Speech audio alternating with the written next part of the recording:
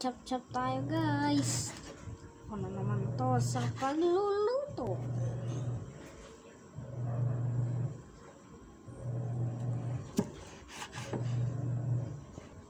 Yan, so hiwain natin.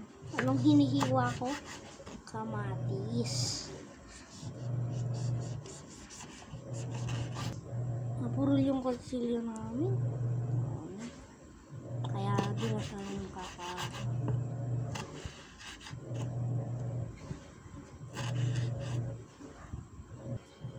So, ito yung magiging susawan namin sa ano, okra at saka sa talbos. Sarap nito niyan pagka pagkapunta sa sausaw. Sige guys, bye! Hanggang sa susunod na paghiwang chap-chap